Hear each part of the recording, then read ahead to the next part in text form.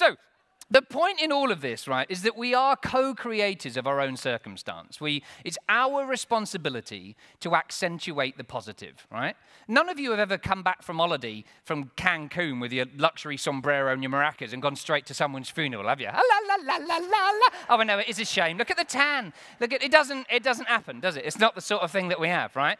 Um, but we're very good at focusing on the bad stuff. So it's our responsibility. If you want to see anything different in terms of your own behavior or someone else's, if you want to see and embrace seismic change in organizations or in your own close knit teams, we've got to accentuate the positive things that happen. The bad stuff looks after itself. It has a great physiological effect on our body. The good stuff just goes away real quick. So that's kind of lesson number one. Make sense?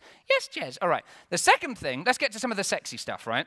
Because we've heard a little bit today, or you've heard a little bit, I've been stood there for a while, and I've been hearing as well about future opportunities, and that always excites me, that phrase. Mm. Not as much as free ice cream, but it still does excite me. There are three questions, or two questions, and one sort of uh, incidental um, thing that we need to be considerate of.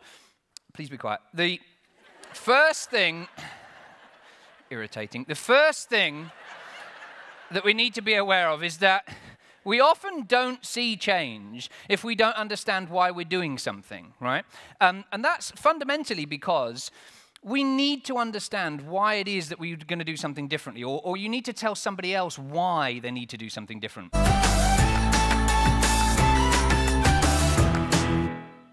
So let's just talk real quick, like 20 seconds on comfort zones, because it annoys me when people say, "Oh, you know, can we talk a little bit about comfort zones? Let's talk about how to, you know, how do we, you know, manage them or whatever."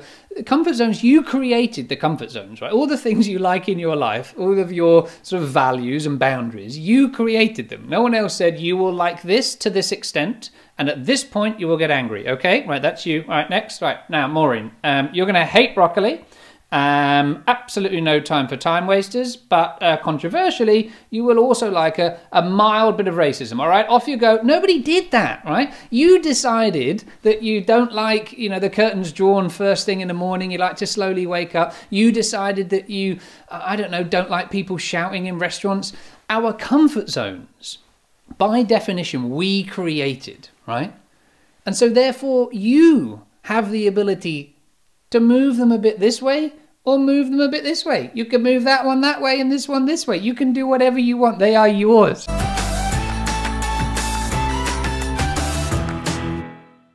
Mr. Rogers' sole um, kind of purpose as a TV presenter was to encourage children to ask the right questions and to encourage adults to have the right answers. But this was during a period of quite heightened racial tension in the States. The guy on the right here is a guy called Francois Clemmons. He was the first black actor to be on children's television, and America went absolutely nuts. They could not handle it. He played a police officer. There he is, Officer Clemmons.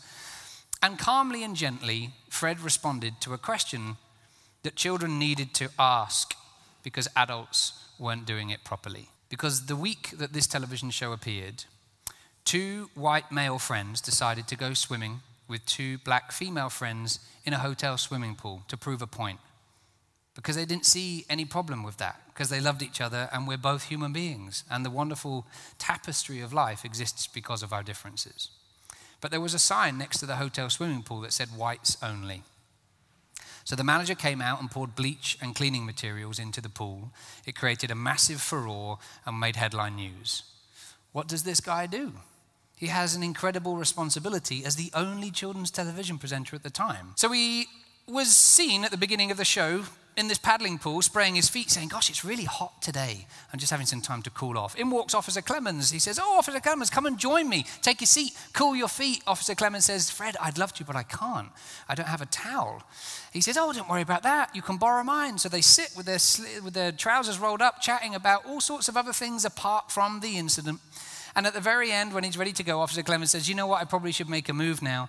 And Fred hands him his towel, he dries his feet, puts on his shoes and his boots and his, his socks, and walks off. And then Fred dries his own feet with the same towel. Nothing more needed to be said.